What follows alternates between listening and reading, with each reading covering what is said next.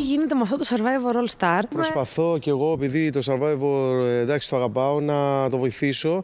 Γιατί αν δεν κάναμε και τα story 5-6 άτομα, απλά θα έκανε 8%. Τώρα κάνει 14-15. Εντάξει, το βοηθήσαμε λίγο. Έχεις εισπράξει αυτό που λένε ότι καλά έκανα και δεν πήγα. Εννοείται 1200%. Έχει αποβληθεί ο Ηλίας Γκότσης μαζί με τον Πιλίδη.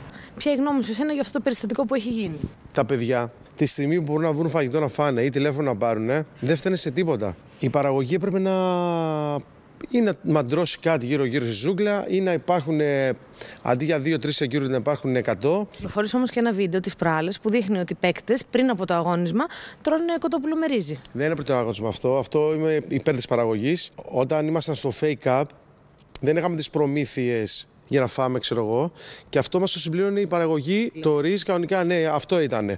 Τώρα κάποιος από εκεί πέρα που έφυγε, το διώξαν, ξέρω εγώ, έβγαλε το, το βιντεάκι αυτό και καλά για λάσπη. Δεν είναι έτσι όμως. Αυτό όχι. Έχουν ακουστεί πάρα πολλά ότι και ο Σπύρος Μαρτίκας είχε γράψει ένα γράμμα να δοθεί στην αδερφή του. Αυτό το είδατε, αυτό ισχύει, ναι. Είδαμε και ένα story δικό σου χθες που, γράφεις, που έλεγε ο ίδιος για σένα ότι ναι. ήσουν άρρωστος ναι. και απάντησες εσύ με πολύ χμηρά σχόλια και ανέφερες και το, και το παιδί σου μέσα. Θα σου πω και αυτό, θα σου πω και αυτό. Λοιπόν, τελικά έχω γίνει κατίνα του Survivor. Τώρα και με ρωτάτε συνέχεια, με ρωτάτε μπορώ να απαντάω εγώ τώρα. Βγάζανε τον τριαντάφυλλο άρρωστο με, με πέναλτι και πάρτε πέναλτι και εκτός παιχνιδιών συνέχεια ο τριαντάφυλλος για να πάρει η Μαριαλένα να πάει σε μεγάλα έπαθλα. Όταν υπάρχει ένα παιδί στη μέση που είναι 7 χρονών, πάει δημοτικό και του λένε τα άλλα παιδάκια γιατί ο μπαμπάς είναι άρρωστος, τι έχει; Ε, εκεί τρελαίνομαι, γυρίζει το μάτι μου, δεν ξέρω όποιος κι αν εκεί θα το φάω ζωντανό.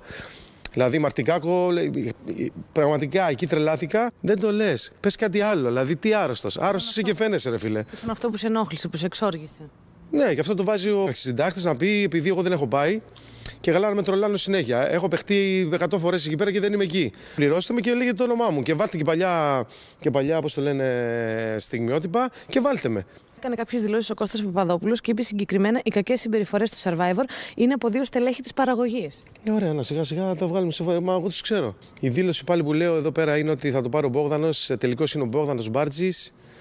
Σάκη. Είσαι τόσο σίγουρος; Σάκης, είμαι 1200% σίγουρος. Πιο πολύ Μπόγδανος, πιο πολύ Μπόγδανος, αλλά αυτό είναι το θέμα. Θα το δείτε.